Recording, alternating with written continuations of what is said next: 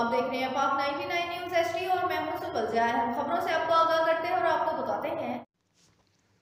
नवाब Shah report, Talib Hussain Khanzada, Pakistan मरकज़ी Muslim league Sindh, शहीद Benazirabad divisional के सदर हाफिज रजा अल्लाह साहब ने सिंध में कपास के आबादकारों से होने वाले जुल्म ज़्यादतियों की सख्त अल्फाज मसम्मत करते हुए कहा है कि सिंध में कपास के हुकूमती मुकर किरदार नरखों पर अमल करने के बजाय सिंध के आबादकारों को कमीशन एजेंटों के हवाले कर दिया है। सांघर नौशर फिरोज नवाबशाह समेत कपास के पैदावारी अजला में सिंध हुकूमत की जानब से कपास की कीमत आठ हज़ार पाँच सौ रुपये मुकर की है, मगर डिप्टी कमिश्नर और दीगर इदारे मुकर किरदार रेट पर अमल दरामद कराने में नाकाम हो चुके हैं और आबादकारों को एजेंटों के हवाले कर दिया है, जो दोनों हाथों से आबादकारों को लूट रहे हैं और पंद्रह सौ से दो हज़ार रुपये फ़ी मन कम दिया जा रहा है।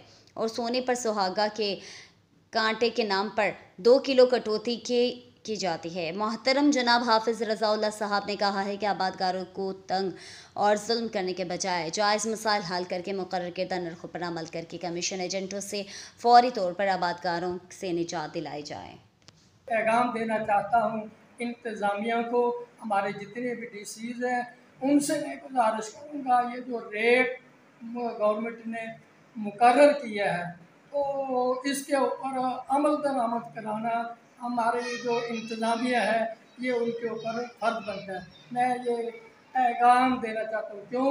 इसलिए आज आबादकार और ज़िम्मेदार ये सलाबों के मारे हुए, महँगी खाद, महँगी भान लेकर महँगी अद्वियात करके इतना खर्चा और पेट्रोल और डीजल महँगा होने की वजह से जो हल है, वो भी बड़े महँगे पड़ रहे हैं। तो ज़मींदार, आबादकार बहुत ज़्यादा परेशान है। रेट कम मिलने की वजह से मैं अपनी इंतज़ामिया से गुजारिश करूँगा कि इसके ऊपर आप जो है ज़रा ध्यान दें और ज़िम्मेदारों को पूरा पूरा हक दिलवाएँ। बुलेटिन